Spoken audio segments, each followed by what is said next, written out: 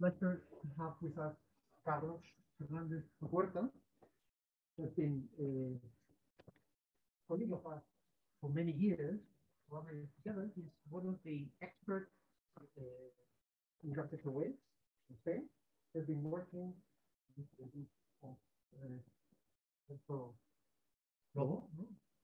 during many decades in, uh, in the first uh, participation of the same in gravitational currents before the LIGO uh, In particular, uh, they developed uh, some of the experiment, the potential forms experiment of uh, LISA, Pathfinder in particular, uh, and he's very much involved in, in at the, the highest level.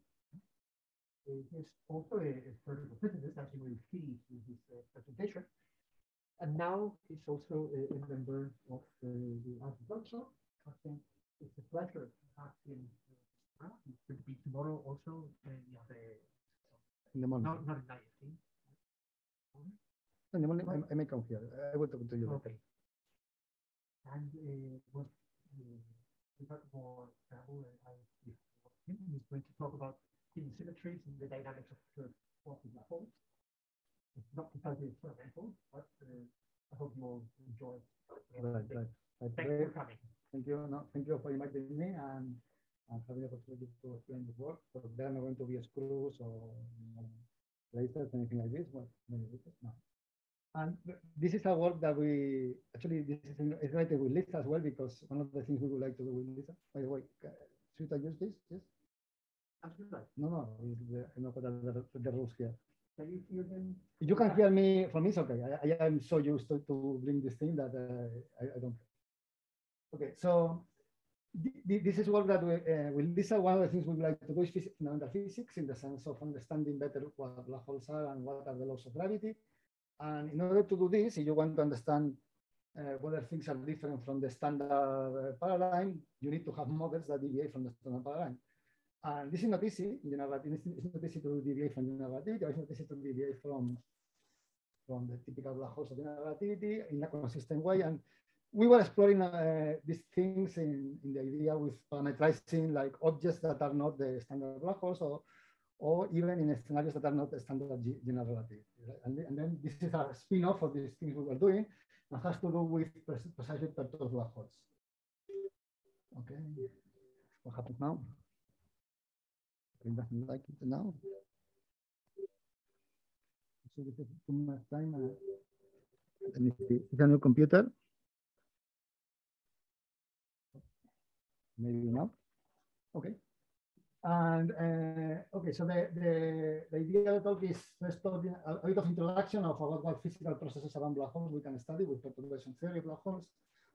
I will give you a review of, of this theory and and then I, I, I, will tell you about how we how we compute physical things, and basically based on on obtaining master functions and master equations from from perturbation theory, uh, how this works, and then I will tell you about hidden symmetries that are there that could be very useful in the future to to understand better, uh, you know, physical processes around black holes or even deviation from the standard paradigm that we would like to do.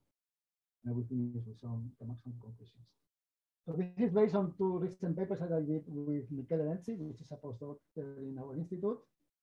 Um, okay, that's just the reference in case you want to look more details of this. Okay, so then go, let's go to physical processes around black holes.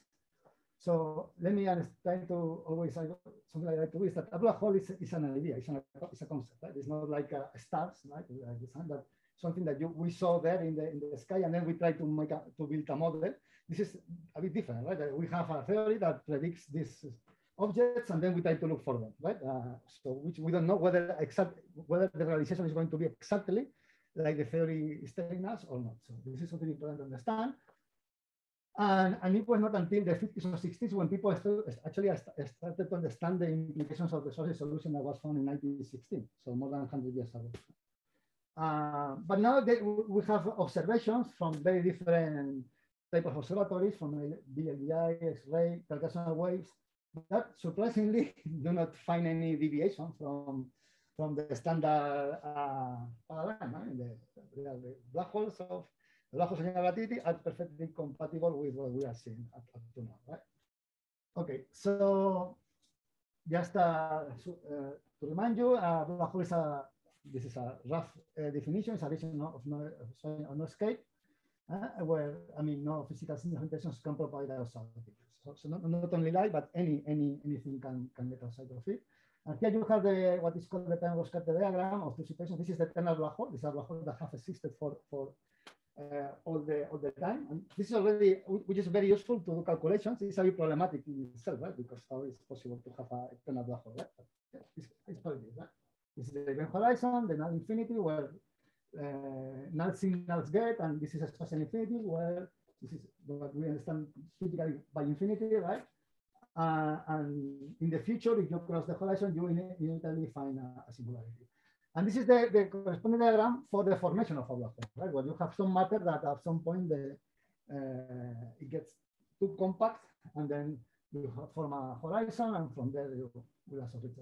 So this is a part of of this diagram is also found here, and you all have this structure typical of, of asymptotically flat uh, space-time. Okay you have questions, uh, yes, uh, you can interrupt. So there it says spectrum of black holes, the black hole spectrum. so what black hole, what kind of black holes we have found, right?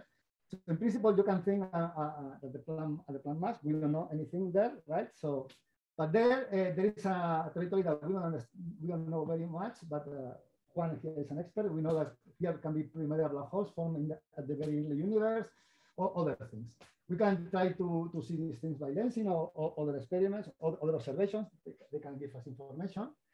And this brings us to, the, to this uh, region of three to five, four, five solar masses, where we don't know whether there is a, a gap between the masses of neutron stars, which typically the maximum is around two, and the smaller masses that we are seeing now, uh, either from X-rays or gravitational waves or black holes, which is around five.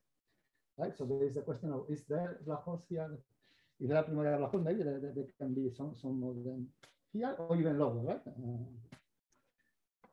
okay, so then we have what people call stellar origin black holes, which are supposed to have black holes formed by the collapse of ordinary matter. And this has already been, in, in principle, we have evidence or certain evidence with X-ray and uh, ground-based uh, detectors.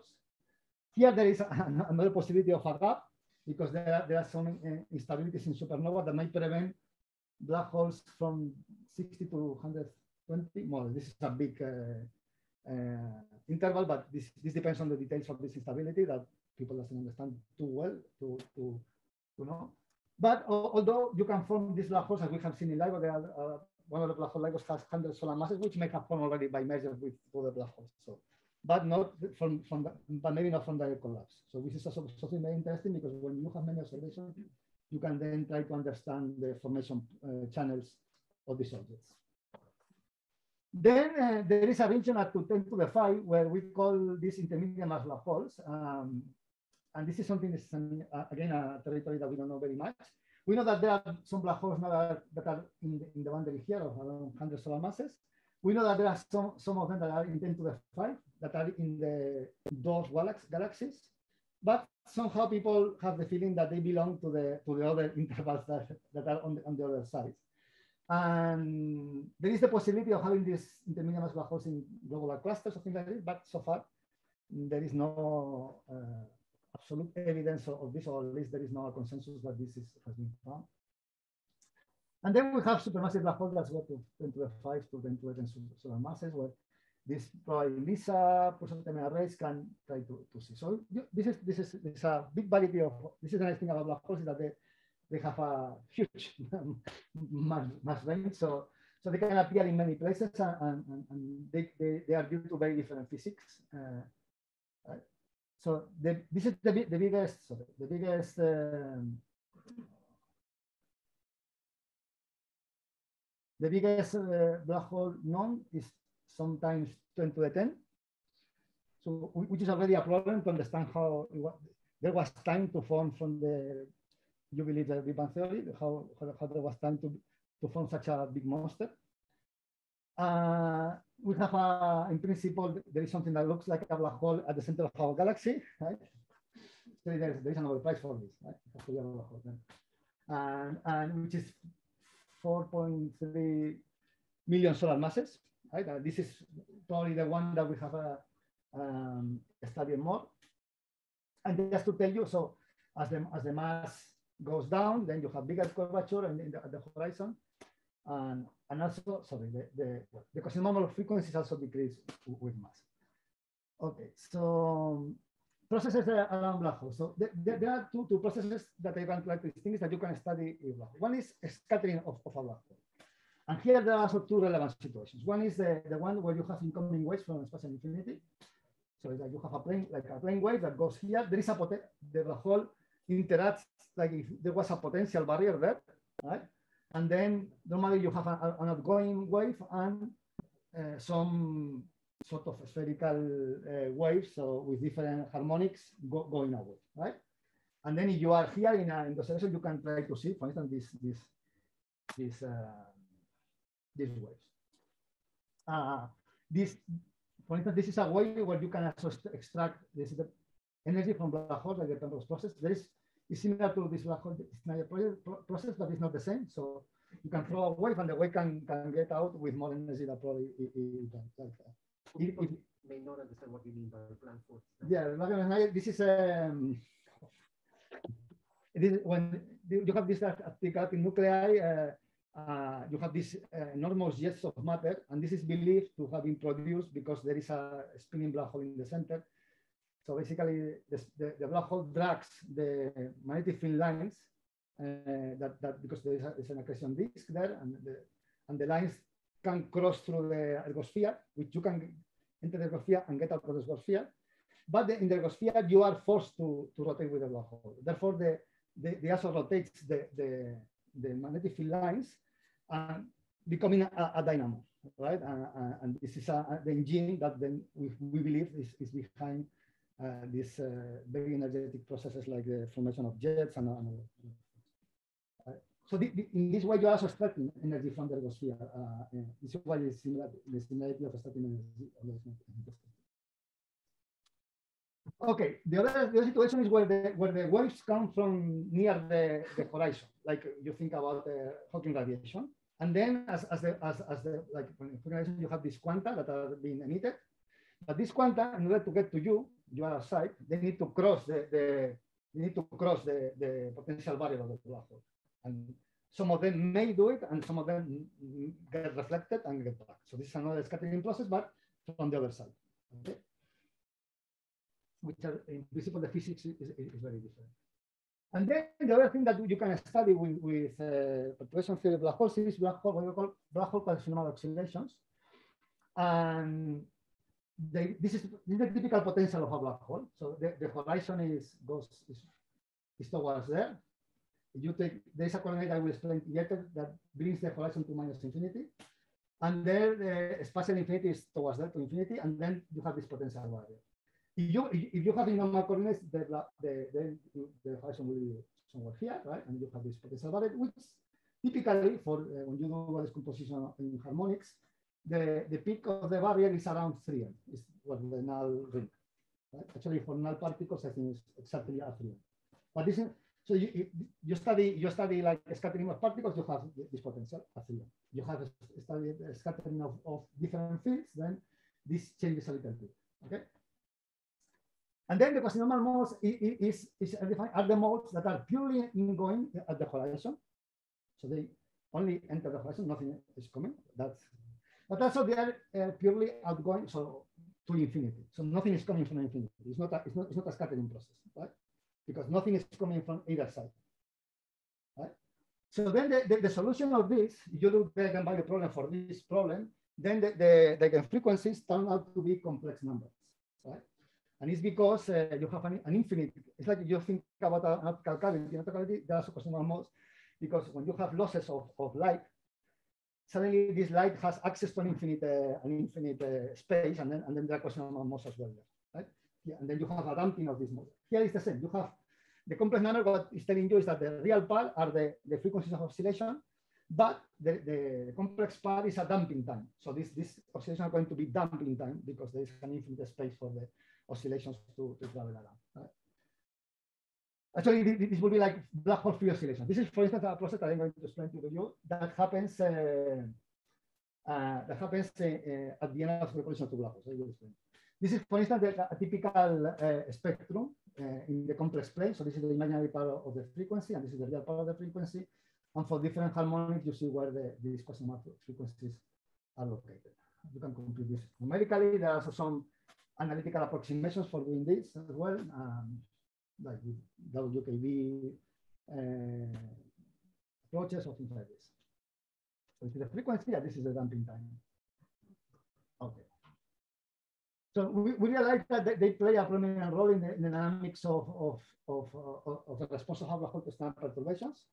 So this is why they're important, is because uh, after, and in particular, for instance, when, when we know that they dominate the gravitational wave emission in the aftermath of the collision of two black holes. So when the two black holes are orbiting each other, like in LIGO, like the LIGO have seen, or LIGO have seen, when they merge, uh, after a while, the, the, the emission is dominated by these Cosine modes until the system relaxes to the final black hole. Right? So this last part is, is, is Actually, even in the case of head-on collisions, what we saw is that, is that basically all the emission is dominated by Cosine modes. This doesn't mean that Cosine modes, uh, you can express the solution in terms of Cosine. This is a bit more subtle because they are not a complete set. There is no.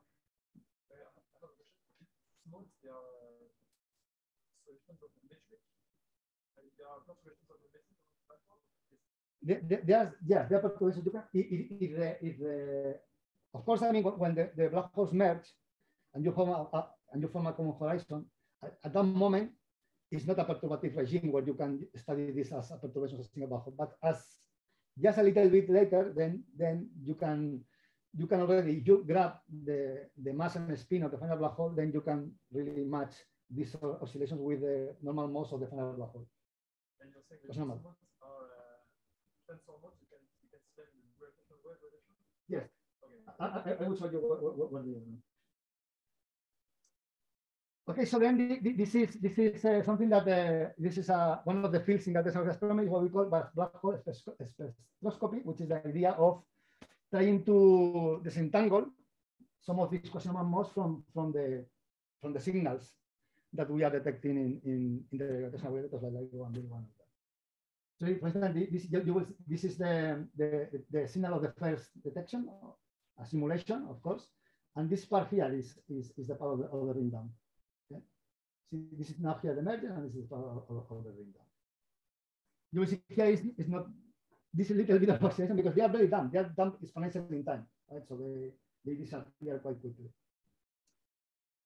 You, see, this, you can see this is the, the signal, typical signal that we can divide in this phase that we can uh, model with post-Newtonian approximations, where, well, this is this, some of the sentences here are for Lisa. So, uh, okay. Um, so we have in Lisa we have a large scenario, and this can give you information about how waves propagate, whether there, there are some they propagate as GR or there are some effect due to deviations from from the general relativity, like you know, the space-time has deform, deformations or things like this, right? Uh, then there is a, a, a, part here, which is then the, the merger, when this thing you need to, to use full Einstein equations. And then you need to use numerical relativities to describe this. And of course, this is a, a, place where you can try to distinguish between general relativity and other theories because it's the one where nonlinearity, something like this will, will play the biggest role. And finally, this is the, the ring down. And here, basically, the, the, the, the waveform is just a damp sinusoidal. Right? So you have these frequencies, which are the, the real part, and this corresponds to the inverse of the imaginary part. Right? And, and the good thing is that if you believe in the no-hair uh, conjecture, right, that the black holes are, are described only by two numbers, astrophysical black holes are by two numbers, mass and spin, these numbers here only depend on the mass and spin of the black hole, right? So if you have two, you identify two normal modes, in principle, you can determine the mass and the spin. But the third one is already a test, a test of, the, of the black hole paradigm, right? Because once you know the mass of the spin, the third one is fixed. Right? So if, if, if the value is not your value, something is, is going is going wrong. Okay.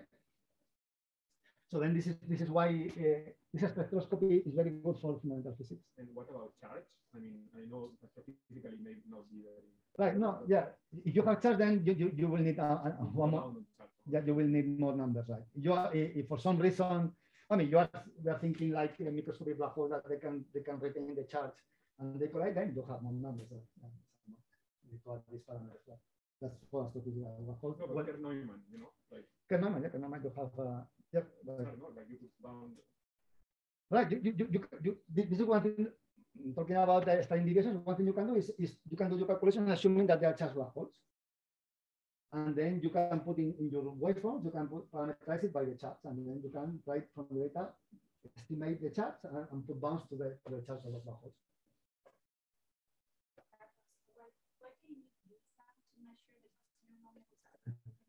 No, this is from a document. That's why. Okay. No, but uh, no, I, am going to tell you now. So uh, in, in LIGO and Virgo, now we have up to 90 events, more or less, right? Uh, uh, most of them are, are, binary black holes.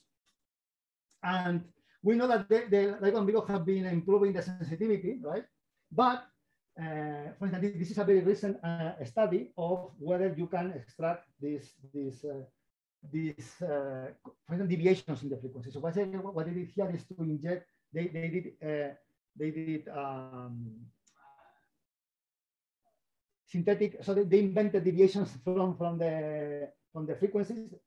They put it by hand, this this this modes, and then they tried to see whether they could distinguish between mm, these deviations from, from the typical ones. And you can see here is is very modest what, what you can achieve now. So basically you are in the in the so what you get is, is basically the error that you have, right?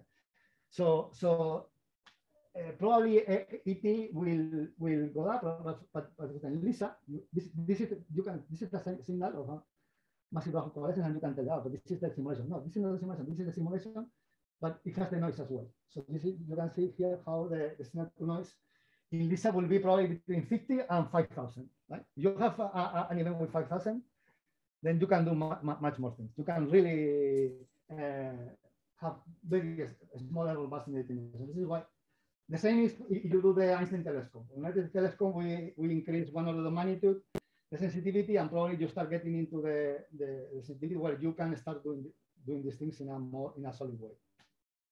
Right? That's why I think now I think now it's a bit too. Uh, you probably you, see millions of papers now going in the archive uh, telling all kinds of things, right? But, but you have to be very careful because some of these papers uh, maybe some of the results depend out of, on the priors of the data and things like this. So one has to be very, very careful with this. Because this is a very, I mean, may, this is very delicate because of this question of most. You have three quantum numbers now, right? Not, not the N, you have the N, Ln, right? So you need to, actually now, now there are even some people saying that maybe unstable, the, even the fundamental mode, although we don't see this in any simulation that we do with Black but that's something that is happening. Okay, so let me go a review of black hole perturbation theory. So there are different regimes where when you have a binary system, you can do perturbations. One is when they are widely separated and, uh, and then you can use post-Newtonian theory. When they are they are similar mass, but they are very close, then you need numerical relativity. And when they are very different in mass, or they are, or then you can use black hole perturbation theory because the spacetime is dominated by one black hole and the other one is like a perturbation. And then basically what it means is that your spacetime metric is the metric of the black hole, Kerr or Schwarzschild, and then you have some perturbations. That's the, the idea. Okay. This is another graphic, a similar thing. So let, us let's, let's focus on the on the novelty case for the moment, right? Uh, well, actually, for for, the, for this talk, I'm only going to talk about the you want. I can tell you some things about spinning black hole, right? So you know that the background space-time will be the Schwarzschild metric, where f is one minus two m. This is the uh, element of the sphere, and then this satisfies the Barkey-Einstein equation. This is what we know about sources. Then we perturb it, and this will induce a first order a perturbation in the Einstein tensor. Right? It will be the, the tensor will be the Einstein tensor of the background, which is zero plus some perturbations. And if you do some algebra, you can write down first order perturbations like this. So this is the, the, the d'Alembertian of the background. This is why it has the hat. This is the Riemann of the background. And then you have this quantity here which essentially is, is the divergence of the, of the metric perturbation. So this is, so you choose the Lorentz gauge, where basically the divergence of the perturbation is zero. In this gauge, you have these wave equations. You have a set of wave equations for the perturbations. It's very nice. Actually, it's not the perturbations themselves, it's the trace reverse perturbations. So you take the trace with minus, one half of the trace of the perturbations. Okay, so now in, in for sparsity we have a spherical symmetry, we can profit this. And, and the idea of spherical symmetry means that you can always, in a geometrical way, write the symmetry like the, uh, what is called a warped product. So you have a, a, a two-dimensional Lorentz manifold with a true metric, a two-dimensional metric. But here you don't have a true metric. You have the metric of the sphere, but you have a, this factor R2, R, R squared that belongs to the to the to the Lorentz manifold. This is why it's warped because it's warped by, by this R squared factor. Okay, but then this structure is very good to to decompose. That's the, the, the metric. In, in, in, in, typical coordinates, this is this this what these metrics are. So then we can we can now this thanks to this we can split this this metric perturbations in spherical harmonics, actually in scalar vector and, and tensor harmonics. So for instance, the spherical harmonics are what we already know. They satisfy this Laplace equation with these eigenvalues are L, L plus one, right? This is the typical spherical harmonic. There are many, many conventions here for the different expressions, but uh, in principle, this is what they, they satisfy. And then you can introduce vector harmonics in two ways. There are just taking the gradient. These are even parity. I will tell you now what is even parity, or people call it polar modes. Or you take the, the, the volume element of the, of the covariant derivative from a sphere, or you take the volume element of the sphere. By doing the dual of this, you have another vector, which is now change parity because this this is not a parity value. Okay. And similar thing with the tensor spherical harmonics. If you take the symmetric ones, you have the trace, you have one that is uh, has even parity and is trace free, and you have a similar one which has parity. Basically, it's taking the vector and taking the symmetrized derivative on the two sphere. Right? So this, this is all, all the possible spherical harmonics that are, are, going to interest us. So you can build this in a, in a way on, on the two sphere. And basically, the idea of parity transformation is you do parity transformation, the even parity harmonics uh, pick a sign that minus one to the L and, and the odd parity to the plus one. This is the, the, distinction. And they decouple. When we put them in, in equations, each harmonic decouple and each parity decouples. So you have now, uh, uh, from one equation you, pa you pass to infinite equations for each harmonic and each parity. Okay, this is what I was telling you, and this is just the, how you put it. Basically, the, the odd parity only doesn't have a scalar part because this is uh, will be even parity. You only have vector and tensor part. And this is the, the parity has everything. So here you have three components of the metric perturbations and you have seven. So basically they don't, they don't, they don't, distribute equally, right? To sum the 10 components of the metric. You have three uh, axial or, parity and, and seven uh, parity. Okay. So then you put this into Einstein equation, you do all the derivatives, and then in the end, what you need to do is to recast, to, to bring the Einstein tensor, the perturbations in the form of spherical harmonics. So you need to bring this in the form of something proportional to, to scalar spherical harmonics, to vector spherical harmonics, and tensor spherical harmonics. And you do this by using all the equations that all these harmonics satisfy. And, and the coefficients are going to be quantities that will depend on time and, and, and radius. So, so basically then you have seven equations for, for polar perturbations, for parity perturbations, and three equations for the parity perturbations. This is, you can find it, this in the literature, all these equations. And you can even write them in a covariant way with respect to this two-dimensional Lorentzian manifold. Then gates. This is something that is uh, uh, so, something very problematic typically in general relativity. And it's because it is presented typically like a coordinate change. In reality, it's not a coordinate change. It's a it counts because you need to, you need to make a, a mapping between your idealized spacetime and your perturbed spacetime. And what you, you need to identify points on one to the other. And this is one possible choice, right? This here you have two different choices. So each choice of, of, of mapping is a gauge, right? Because there are different ways in which you can identify this.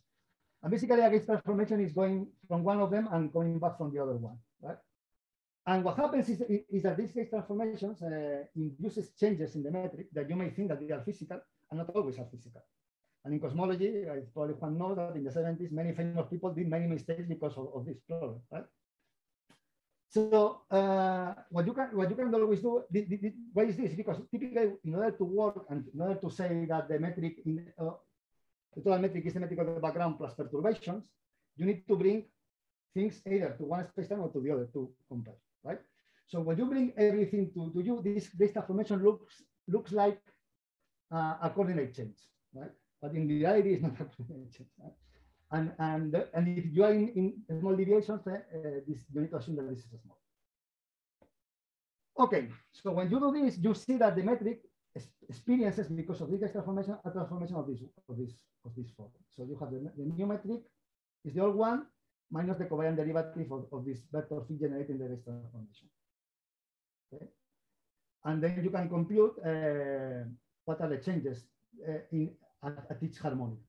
So you need to decompose also the, the, the, the gauge vector in, in spherical harmonics. In the, in the event parity, you have a, a um, well, a scalar and a vector, although in, in, the other one is in the other way around, and in the in the other you have a vector. So there are, in the end, we have three components in the event parity and one component in the parity, which are four, which is the gauge coordinate transformations or gauge freedoms are typically four, right? And then you can see how, how the, the metric transforms. You, you can all the components of the of the of the of the harmonics transform. This is for the entire sector. This is also you can find in the literature. And this is for the opposite. You can see it. But then one thing you can do is whether you can construct combinations of the metric perturbations that are invariant under, under these changes. So they, they don't change. And indeed you can do it. And for this thing uh, is, is, is, uh, is, is the part of the of the, the scalar part of the in, in, in the scalar harmonic part. This HH, HHV is you construct it from like this. This is an vertical here, and, and AR is the gradient of the area coordinate. And this K tilde, these are gauge invariant um, quantities in the event parity sector, and these are gauge invariant quantity in the parity sector. Okay. Okay. Now, uh, in principle, with this, what you are going to have is a, set of Einstein equations that 10 equations, well, seven and three uh, when you have the composing harmonics, and now you need to solve them. And this is a complete, in principle, nightmare, right? Uh, but then in 1957, uh, Regge, Regge and, uh, and Wheeler, they realized that actually you can decouple these equations in terms of a master function that satisfies a kind of a wave equation in two dimensions. So a one plus one wave equation, one time dimension and one radial direction where, where this um, box 2 means the d'Alembertian with respect to the Lorentzian metric in, in two dimensions. This is, this is a potential. And, and this is the this is the, the master function which this combination of metric perturbations. This is for the for the parity. So this is for the parity. And they choose a, a, gauge, which is now called the regular gauge, which, where they make these these components of the metric uh, vanish. And this is although they, didn't find it in, in a gauge variable. They, they, they, were very clever to find the, the gauge in which they know they were not going to be artifacts due to gauges, right? You can do it in, in coordinates. The coordinates looks, you see, looks like a wave equation in, in one plus one. This is a wave operator. You have a potential here. Eh? This is parity. Where this R star is what we call the, the, the plus coordinate. It's, it's a coordinate change of the real coordinate that brings the horizon to minus infinity. Okay. That's what, but then in this way you have a, a typical wave operator in, in a flat space, right? And the potential here, uh, which is the uh, now you need to point out IF is, is the form. And this is what the, this is the potential, and this is the original Regge uh, master function. And what the good thing, um, well, and, and well, let me, for the polar sector, we need to, we need to wait until 1974. Eh, that's really because you have seven this is much more messy. Cerilli, uh, a student of Wheeler, uh, although I think he left afterwards, I didn't find a picture of him, uh, work out the, the, the, master equation for even perturbations. You see the potential uh, looks much more complicated, although you will see later that it's not much more complicated than the other one. I will say you what is this. Well, you have these functions here, uh, this lambda is this, and And this is the, the master function, which uh, again is, is much more complicated than the than the Regge-Wheeler one. And this is also gauge invariant. In, in the Regge-Wheeler gauge, it looks much, much more simple. Okay. So the, the summary is that we have uh, master equations for, for odd parity perturbations and even parity perturbations. The one for parity has the Regge-Wheeler master function. And, and there is another one that was from later, which is by Cunningham, Price, and Moncrief, which I will tell you is, is the 10 derivative of the previous one. And we have the, the Zerilli Moncrief master function, and, and they have fixed potential. So in, independently of whether, whether you use one master function or another, the potential uh, is the same. Okay?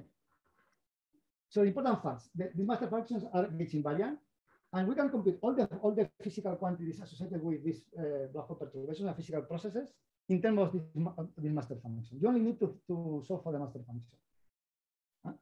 So basically, you, you, can compute the fluxes in gravitational waves, the angular momentum fluxes in gravitational waves, the momentum fluxes in gravitational waves. All of this you can compute only in terms of these master functions. So this is a big simplification with respect to the idea of solving a couple system of seven equations or three equations for each harmonic, right? But in certain cases, like in the regular gauge, uh, you can recover all the metric perturbations. Once you have the master function, you can recover all the metric perturbations. This is necessary when you, find we do this self-force problem in, in extreme resonance spirals. There, there are quantities that are not getting by, like the self-force, is not invariant, and then we need to recover the metric perturbations from the And this, in principle, I, I, I, have explained this for vacuum, but it can be also applied to perturbations that are generated by, by matter perturbations. Okay? It's not only for vacuum spacetimes. Okay, so one of the questions that we that we were asked, because we were doing these things in, in, in a scenario that was not really the, the typical one, and then we have additional terms, and we didn't know how to decouple the equations because uh, when you have extra terms in your equations, you can try to do the same tricks as they did, but they don't work. you have to do some other combinations. So, so we were asking ourselves, oh, then how, how we can do this in a systematic way, right? Uh, so basically, we we are trying to answer this question by by first of all doing the first of all we didn't fix the gauge. We were working a completely general gauge, and then uh, we assume that the, the, master function is linear in the metric perturbations and in first order derivatives, which is what happens with all of the ones I, I showed you before. There are some exceptions in, in when you do this Teukolsky or curvature-based uh, description, but in this description, basically this is a very general um, assumption. We assume that the, the coefficients of the master, in, in automatic perturbations in the master function are only depend on, on the radius. so can I ask why why that assumption, like the just one derivatives of the metric? Uh, because the, the, the other fun, the, the master functions that we knew are, are, constructed basically just from, from the metric perturbations and first derivatives. But like, uh. but is that, but it's not, I would say it's not very physical, no? Like, uh, like for instance, the Teukolsky value you were mentioning before is physical precisely because. Yeah, but, but, but yeah, but then, oh, okay, then This is a good question. I mean, you just, but the, the, the, the function is not a metric perturbation. Okay, because you, you start from a derivative, you can say, okay, why don't you put second order, second order derivatives? Because in principle, second order derivatives in principle are determined by Einstein equations. Okay, but what we can we, we can we could do this research. Actually, this is we, we plan to do it, but we don't plan to do it to recover this master function. But but in course, what happens is that the the, the tricks of of of uh, the and three didn't work, and and using the Newman-Penrose formalism, uh, which uh, Teukolsky realized that if you take one of the bitensor scalars, that uh, satisfies a sort of wave equation as well, and this is how things everything. But then there, the decomposition in harmonics is, doesn't have anything to do with that one, right? That, that's a, because then there is a, a version for Saucy, which is the Bardeen-Press equation, or, or Nakamura Bardeen-Press. That is, is, something similar, but uh, yes, but, but yes, I mean, this is, is, is, is a very valid question. That, that's to explain to you where this comes from. So then, given that the, the coefficients the, of the metric perturbations that doesn't will come from the from the background and the background is stationary, is logical to assume that the, coefficients only depend on the on the on the on the radius. And finally, we are going to impose that the, the master function has to satisfy a, a, similar wave equation, okay? Without imposing any any any potential. The potential is left free. Okay. So, for instance, in, in the opacity case, the more general master function, given that you have three metric perturbations, is this one in, in metric perturbations. Uh, this is prime is radial derivative and dot is uh, time derivative. So this is a, then you have this answer, okay? Uh, and in the case of the empire, you have seven, you see it's, it's a bit more uh, then what we do, what we are going to do is to put um, these standards into the standards here, and you force that, that this is, is working. And then what happens when you put this, you're going to have third derivatives, second derivatives uh, in, in, the, in, the, in the expression we're going to have. But then you can eliminate some of the second and third derivatives from Einstein equations. Actually, you do it in a systematic way. You always eliminate the first ones. Then what you do is then impose that the coefficients or the things that didn't vanish, vanish. And that will give you the, the coefficients that you have. So we did that, and, and what we found, this is the first paper that we have, we found two branches of solution. The first one, we, we call it the standard branch, and the other one, we call it the, the branch, and I will tell you what is the standard branch. Standard branch, we found that the most general, most general parity master function was a linear combination of the Regge-Wheeler and the Cunningham-Price-Moncrief. So there are no, nothing else, okay? But the, in the even parity, we found that it's the, the Zerilli-Moncrief and Another one that is uh, new, no, actually, this is the expression of this one in a covariant expression for it. And it, it turns out that, that uh, I don't know which one, one of them is the, the, the time derivative of the other one using Einstein equations, okay? Which is, the same that happens here. So this one, this one was, was missing in the literature. So basically in this systematic analysis, we, we found we found it. And then here the, the potentials are the, the non-potentials, are the Regge-Wheeler and the cylinder. That's all. So basically, in, in, in, this branch, the only thing new that we found was this, this uh, even parity master function. Actually, you can even rewrite some of the, of the fluxes in terms of this master function you want, for instance. Okay, ah, yes, this is this one. Is the time derivative of the Zerilli Moncrief is the new one, basically. Like the time derivative of the Cunningham Price Moncrief is the regular one. What is K tilde again? Uh, K tilde is the gauge invariant metric perturbation that you remember when we said which gauge invariant quantity you, you can write is the K tilde is the okay is the one that you, you build. These are gauge invariant, therefore this is gauge invariant. All of them are gauge invariant. Okay. And then the double the Darboux branch. In the Darboux branch we found uh, it's a completely new branch. Nothing was known about this branch as far as I know. And here the odd parity function is a, a linear combination of two things. One is in the odd parity is the Cunningham Price Moncrief, and then you have here this thing, this thing here. There is Cunningham Price Moncrief. This is something that is not, is, is getting invariant, but it is not a master function. But this combination it is.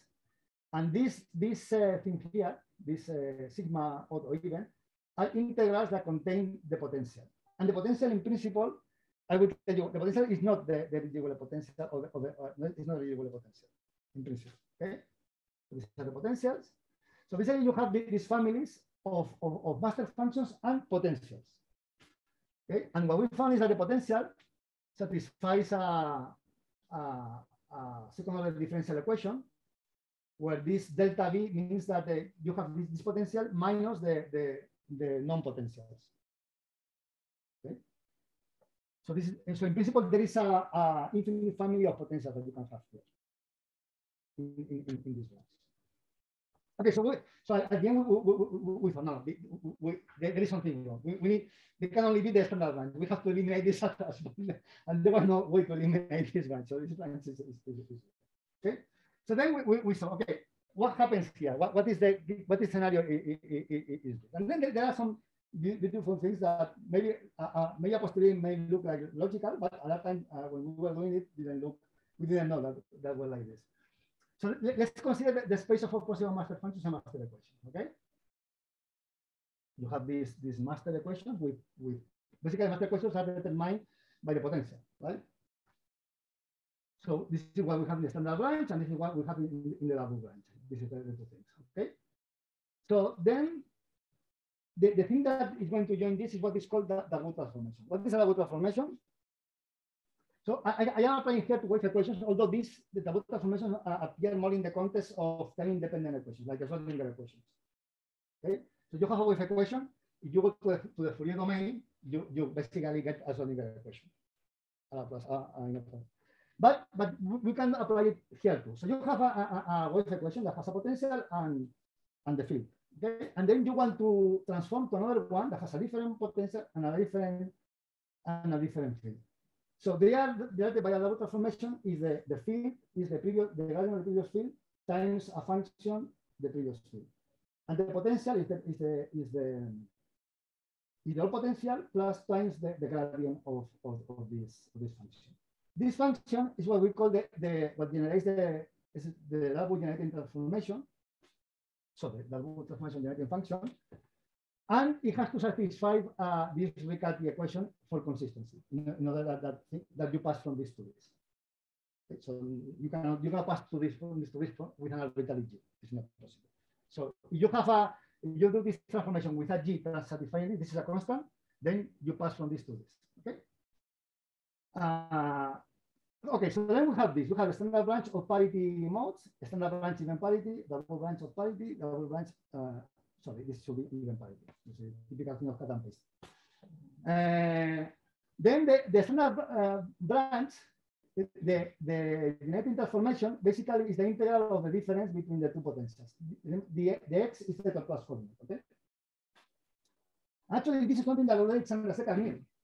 The, the only thing is that we didn't, at that time, until very recently, we didn't know that this was a Darboux transformation. Chandrasekhar uh, realized that the, that the quasinormal modes of the odd parity and even parity are the same spectrum. So odd parity modes and even parity modes have the same spectrum of quasinormal modes. This is something that Seca realized, and he found a transformation, but the only thing he didn't know that was a, a And then, uh, then we have uh, also a, um, a transform, the, the that transforms the standard branch in the parity with the, root branch in the parity, and same with the even parity. And this and this is the the the the, the generating function of the, the transformation in those cases. So basically, all the all, all the equations at the end one way or another are connected by the by the transformation. So that so this and this is the kind of the hidden symmetry that is inside all this, because it, it, this is in order maybe I explain in, a, in, a, in another slide, but this is what reflects when you think about uh, in particle physics when people were doing scattering experiments. The idea was, oh, can, can we reconstruct the, the potential from the scattering data? And the answer is no, because the, the potential is not the, you need to, to discuss something else. I mean, there was the X matrix approach. There was the what what is called the, the scattering data, which is the potential plus either the the discrete states or the in case you have a continuous spectrum the the, the how it's called the, the, the reflection coefficient, for instance, things like this, right? So the potential itself is not enough, and this reflects that the potential is not something that you can change, maintaining the physics of, of the problem in reality, right? As it happens between between parity and even parity modes. That's a bit what is reflecting this, okay? So let's look in, in, in the frequency domain picture. So you have the, the typical wave equation, and now we just introduce a, a given Fourier mode with a frequency omega. Okay. So now this becomes uh, this wave equation becomes this kind of a Schrodinger equation, right? This is a Schrodinger operator. And if you let's assume that we have a, that we find a, an eigenfunction with a given eigenvalue omega. Okay, you have a function. Then you build this function, the minus the gradient minus the logarithm of this eigenfunction. Then it turns out that this automatically satisfies the Darboux transformation consistency condition. So, so this already generates a Darboux transformation. This is already there was known in the literature of Schrodinger problem equation problems, but not in, in this in this one here. Right? Um, and basically, it means that actually it transforms from one to the other, preserving the, the, the eigenvalue. Like this is why it, it was, this is what, that, that's what Chandrasekhar realizes, is that he can transform from the master equation of, of, of axial modes or, or, of parity to the master equation of, of, of even parity modes, preserving the, eigenvalue. Therefore, it means that you're preserving the spectrum. Therefore, the spectrum has to be the same in, the two sectors. That was the, way to Actually, you see when people show why paper say, oh, this is the spectrum of Koseman mode. Basically, I show you that they take the, simplest potential in terms of numerics, like the Ricci Wheeler, and this is what they're showing you. They're not showing you the one of the Serili potential. Although if you do it, some people have done it, a few people have done it, then you will see it's the same spectrum. Uh, okay, actually, you, you can construct, in, in, in the case of uh, between the, the standard branch, there is even an analytical solution. So there is, this is an analytical solution, uh, also found by second. yeah, Chandrasekhar, uh, he did out, out of work on, on, on, perturbation theory of black holes. And, and this is the, the Darboux generating function. So you, you can look at this paper of in a second, you can see that this is a, and then actually this already, this, this, this transforms from one side to the other by using the Darboux transformation. It's very simple algebra. So this is a, it's very amazing. Um, actually, what you can see is that uh, you can write the, the potentials. This is what I told you before. They look at very different potentials. Right? One looks much more complicated than the other, but in the end, there is only um, a, a sign in this gradient that changes between the two. Okay, so you given this this g I showed you before, well, alpha is this constant, it's a constant, depends only on, on the quantum number L, right? And this is a reminiscence of what is called supersymmetric quantum mechanics, right? Where you have a, a the quantum description of system with double degeneracy of, of, energy levels, because this is what you have there is that you have like two Hamiltonians, right? And, and both of them come from a superpotential, although in that case, um, you don't have the linear term. But this linear term can be reabsorbed in the in the in the eigenvalue. So in the end, it's, it's kind of the same the same idea. Okay, so then the, basically what means that the Darboux generating function plays the role of the sub C quantum mechanical potential. So this is a superpotential. Okay. Okay. Now let's let's continue looking now. Uh, uh, uh, so we, we realize that this implies the, the that the cosinomal spectrum is going to be invariant in this Darboux transformation. So all of them, all the branches are going to have the same the same potential. By the way, when, when it's time, five minutes. Okay. So this is a, a, a, now a scattering experiment. You have something incident, transmitted, and reflected. Okay. And then, and then a connection with the uh, Korteweg de equation. This is an equation yeah, that uh, was supposed to describe solitons. We have the one. Right?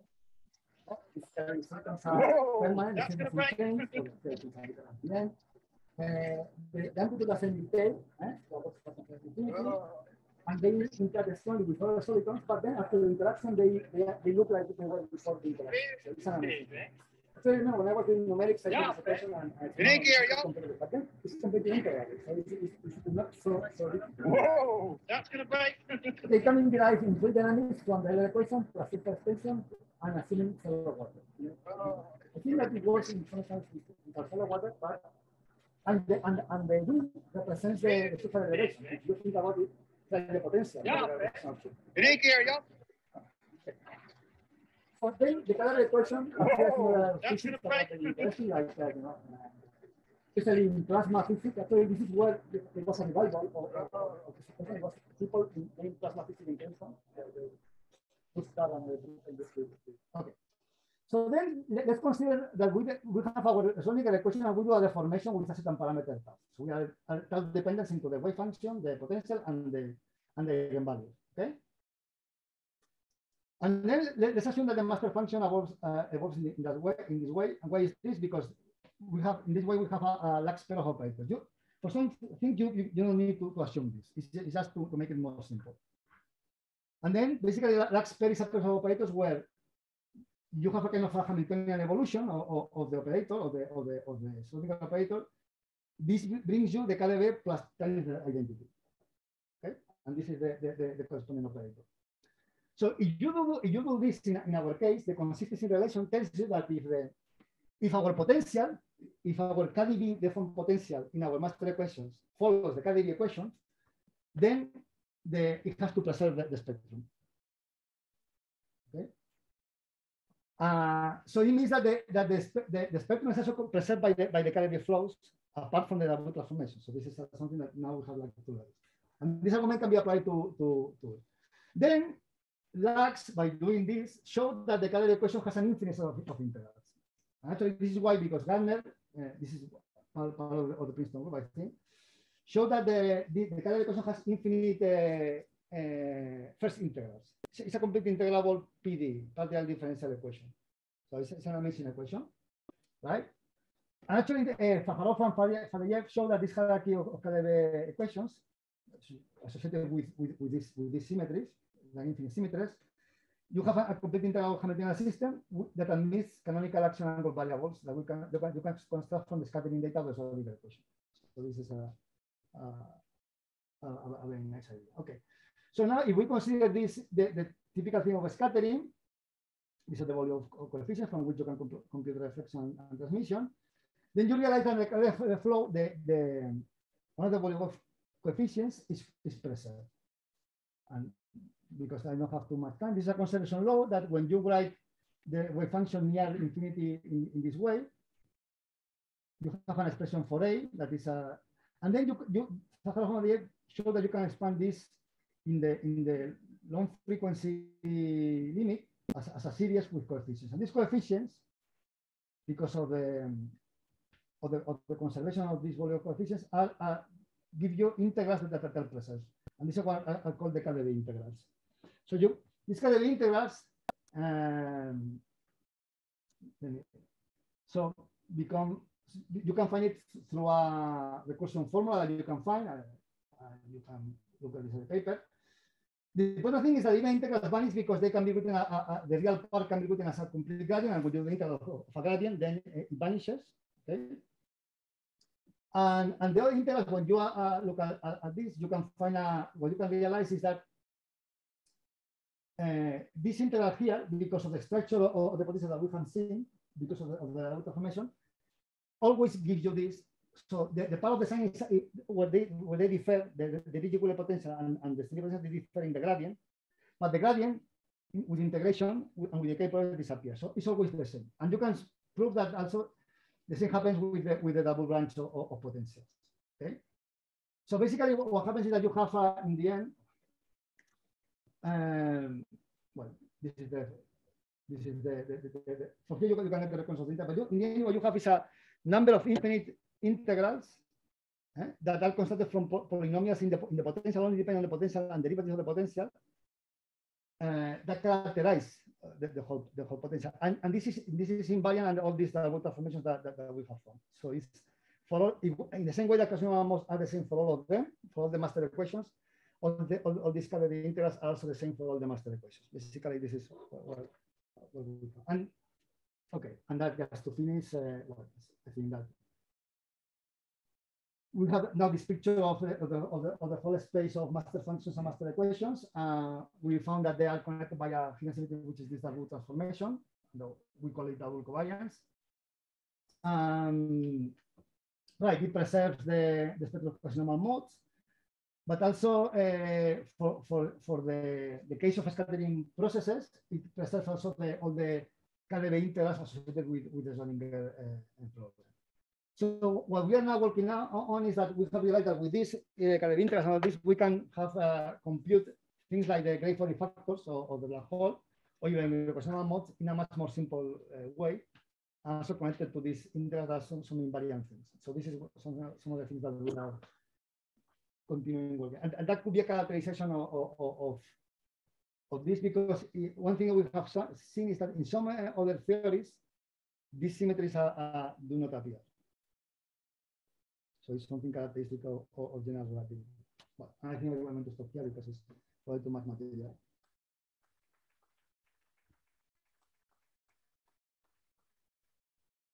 Thank you, Carlos. Thank you.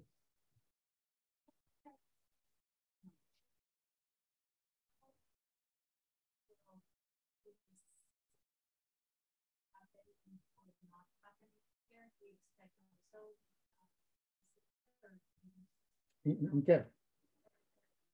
Yeah, for it's a little more complicated because.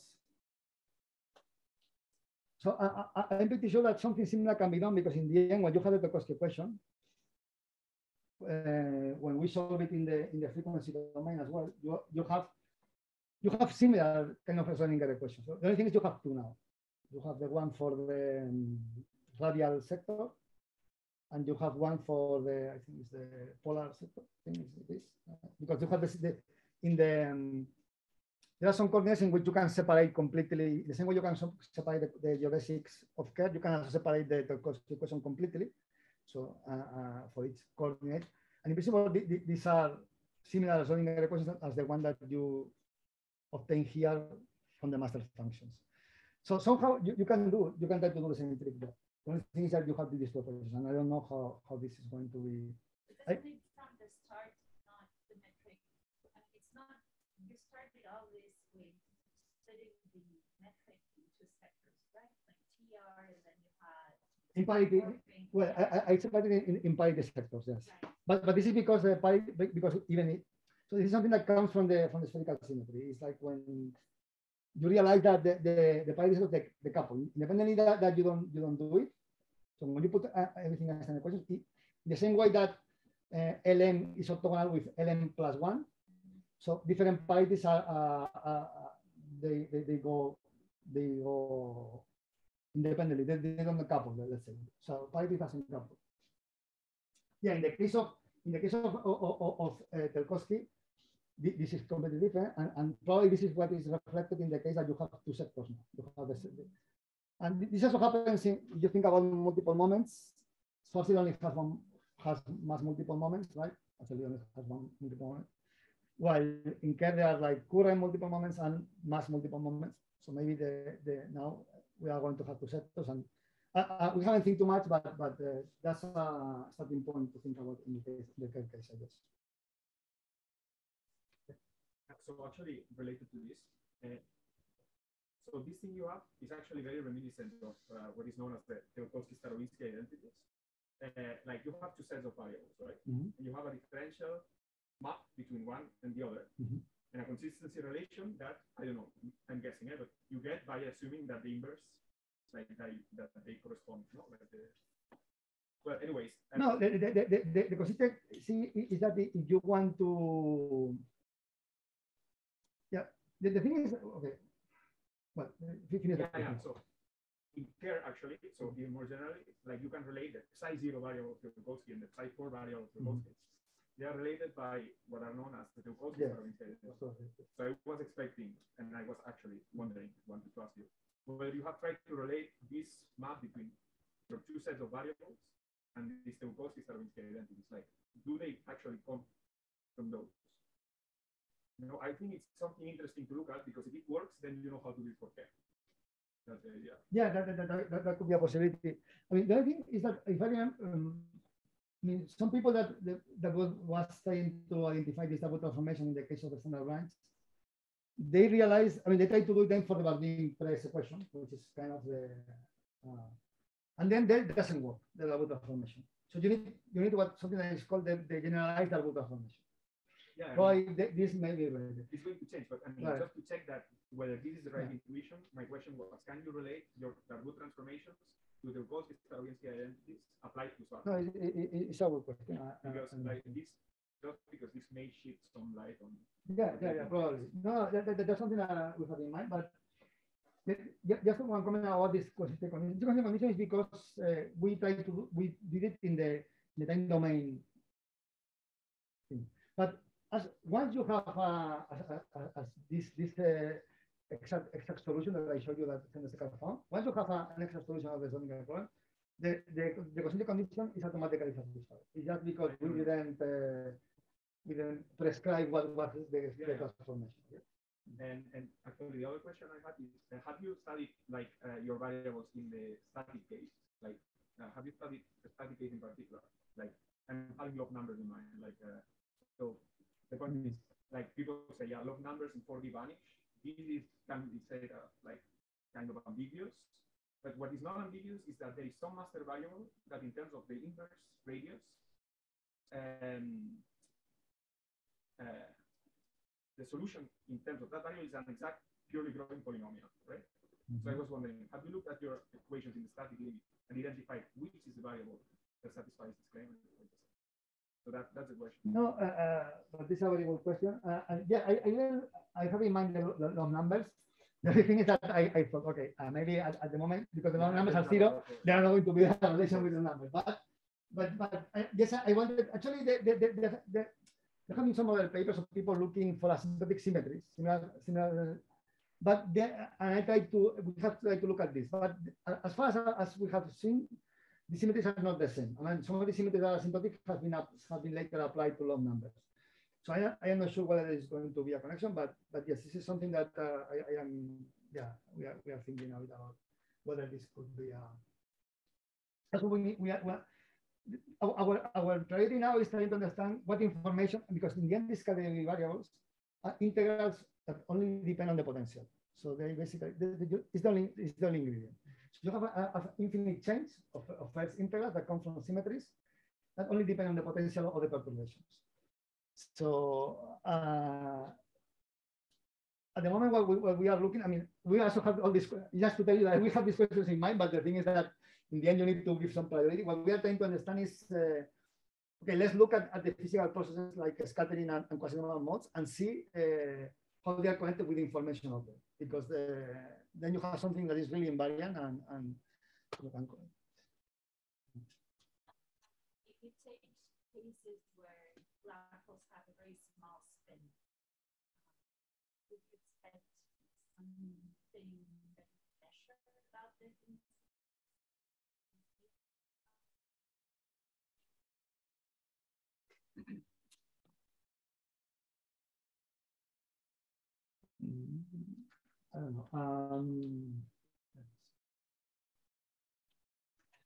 But, for this, I, I mean, in, SNET, you're, you're going to have some personal modes.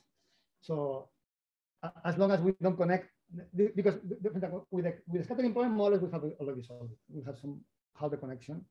And although it involves a bit of mathematics, so, but with the quasi-normal mode, it's a little more complicated because uh, maybe I didn't, I didn't have to say, but quasi-normal modes are not bound states at least in, in, in this slicing of time radius, they are not bound states. They are not complete states. So you cannot you cannot expand your solution into so, so, so they are what they are called they are uh, scattering resonances. So they are poles of the Green function in the complex plane. So this is a and, and there is a there is a different completely different mathematics of I realize that there is a community of people lo uh, looking for these things uh, and it's much more complicated to to so in the case of scattering, you have a Sturm-Liouville problem. In the case of scattering problem, where you have uh, incoming radiation reflected and, and, transmitted, this is a, a well-posed Sturm-Liouville. Therefore, you can apply the Sturm-Liouville problem. You have a, a, a, a discrete spectrum, a continuous spectrum. Uh, you have the, the discrete spectrum is, is, is, is complete.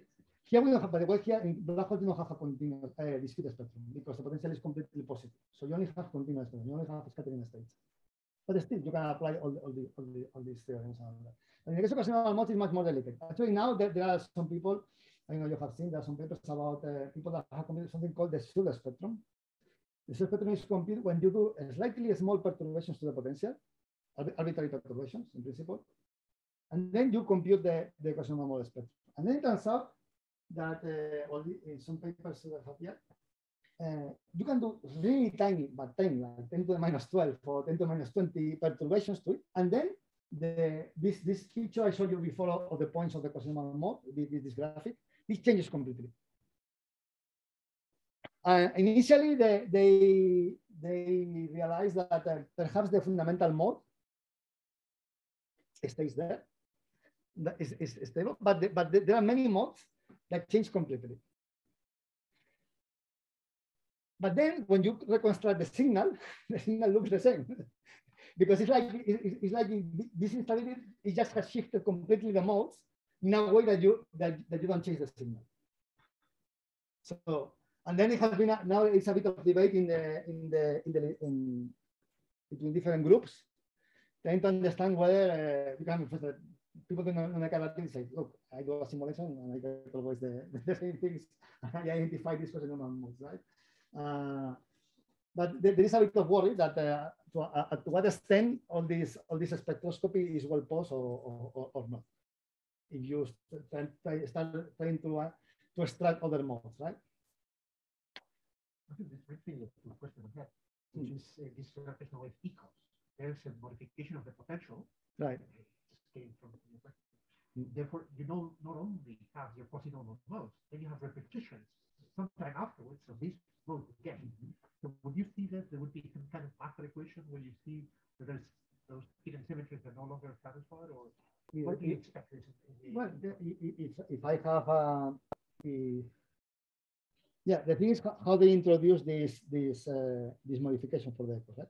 If you modify the potential, in principle, all of this what they have done only depends on the potential. So in principle, the KDB well, have effective conditions, and therefore some of the right. Of, all, all these KDB so, are going to be different. So right? So these KDB are kind of are telling you information about the potential because they are polynomial, differential polynomials. So they depend on the potential and derivatives. So the, the higher you go, higher derivatives of the potential. So they are, it's like all the shape of the potential is centering, but in a, in a, in a particular way. So it's not that the, potential itself is not physically meaningful, right? Let's say in these experiments, but all this, all this, all this interest uh, seems to be. No, because it has to do with observations. What do you expect we could uh, measure with gravitational wave detector? No, what, what, What- what, what, we were thinking is, is to try to connect this with the quasinormal mode, see whether the quasinormal, quasinormal modes can be written in terms of these integrals or things similar to this. And then you can have a, like a parameterization of the quasinormal modes. Therefore, it kind of you change, and then we, we can study um, how changing the, the spectrum of the quasinormal mode to change these integrals and whether this is something that we can implement. And then you, you go to some other models how they will change depending on this. So like having a handle to parameterize the changes, right? Uh, And from observations of the spectrum to the something like that. But then, but yeah, for this we need to have a very good uh, measure, measures of the frequencies, right? Uh, yeah, for the moment we don't have this no, at the moment I, I, you have seen this paper it's 2021 and and this is quite good. And it's already you're injecting something and you start the something you inject with the same thing you inject. So this is a, a bit simple. With LISA or our telescope. Uh, yeah, this under telescope probably are, if they work as suspected, uh, the then the things are. Is it E or LISA? LISA. I'm confused now. No, eLISA was was something that we did in, in, in, a, moment of desperation. Okay. It'd And be now for a short talking interval. something else. eLISA- Actually, eLISA eLISA never was uh, never was uh, never was official because when there was this competition in, in, in the European Space Agency, right, for for missions, and the, so uh, eLISA is a is a L class mission, so large class missions. So that, at the moment there are three. There was this JUICE one that it goes goes to Jupiter, something like this. It's going to be launched soon, although it, ha- it had to be launched in the in the 2018. You were asking me. Yeah. 2018, ju- JUICE 2018. We are 2022, okay? Then it's Athena that was supposed to be launched in 2028. eh? We are 2022, and they haven't not yet adopted the mission, okay? So, and then there is LISA, which is the, the first mission. So, but in the L1 competition, uh, it was when NASA said that they couldn't, continue the collaboration because of uh, the budget, because James Webb telescope was eating all the budget. And, uh, and then they say, okay, if you want to wait for us, then we can continue the conversation. But it's a no, we don't want to wait. We just do it ourselves. And and then they said, okay, L1 mission, budget one one billion, but LISA was already almost two, right? So we need to to propose something. This is why I say desperation. We need to propose something to fit in that, right? So we took arms out, uh, we uh, shrink the arms, and but then the the uh, ESA refused to call it LISA. They, they call it NGO, it was New Gravitational Observatory. But then we, we call it ourselves eLISA. Like, uh, I don't know, Evolve LISA, I think it was. I don't remember what it was. Yeah, Evolve LISA. But then it was never official. But the picture, Hmm. okay, short-lived would um, say. The picture had eLISA. I, I oh, tried to remove everything about I don't eLISA. know, they will put picture later and things. Right, right, right. No, no, no. the- Want to use, Thi- This one is LISA. Yeah. Well, well, actually, the the, the, the, the, current LISA is not anymore the, the classical LISA that we say. So classical LISA is with five million kilometers, and the current LISA is with two and a half. Yeah. The, the difference with eLISA is that eLISA, we, we there was no uh, one there was one arm missing. There were three spacecraft, but only two. There was actually we there was some one spacecraft called mother and two called children. So the mother talked to the children, but the children didn't talk uh, within the, the each other. So that, that, that was a suicide actually, essentially.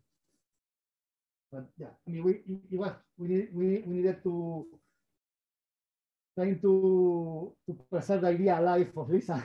we proposed something that fitted in that in that one billion thing, and that, that- and that something was eLISA. And now, yeah, people ask me many times, "But where is eLISA?" Got lost in the void. Hmm. Any more questions? Like San Carlos again. Thank you. Okay.